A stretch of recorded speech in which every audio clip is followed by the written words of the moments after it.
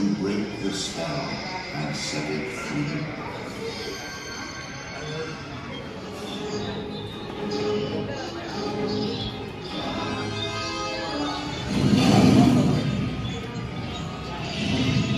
Beyond this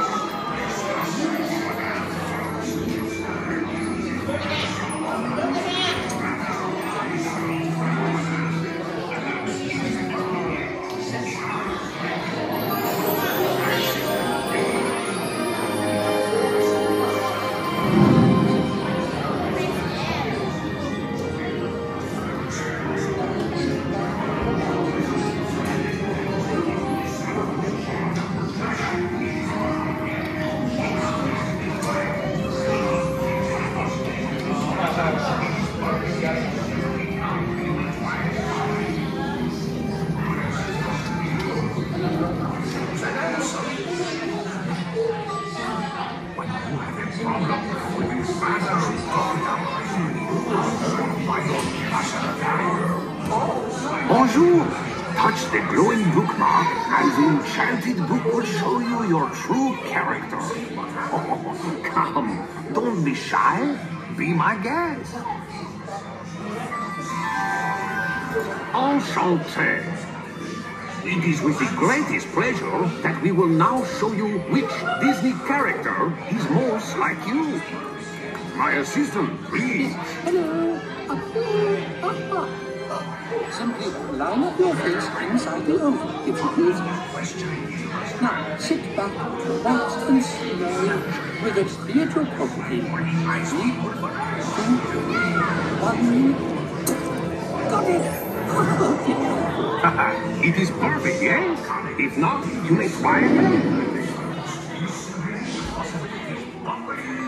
Wonderful. Save your portrait for the final chapter.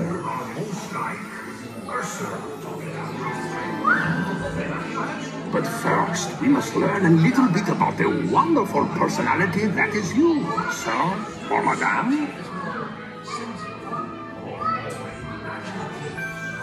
When you have a problem, would you rather talk it out with friends? Or think it through in your head. Do you see yourself as more sensible? Or more imaginative?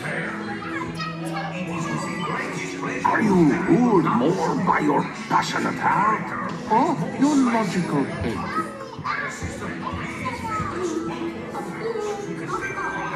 Do you usually like to plan things out? Or wait to see what happens? Very good. One more question we must ask. Would you rather eat lunch with nice people? Or eat nice people for lunch? Oh, yeah. You are gentle, sensitive, and hopeful.